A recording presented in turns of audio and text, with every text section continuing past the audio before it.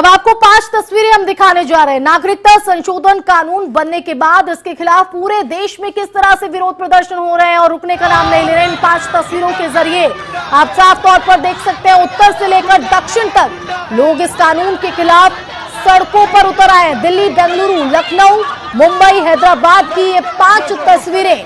तो किस तरह से केंद्र सरकार से इस कानून को बदलने की मांग की जा रही है, वो आप इन तीन, इन पाँच तस्वीरों के ज़रिए समझ सकते हैं दिल्ली, लखनऊ, मुंबई, बेंगलुरु, हैदराबाद में सीएए यानी कि नागरिकता संशोधन बिल के खिलाफ छात्र सड़कों पर उतरे हैं।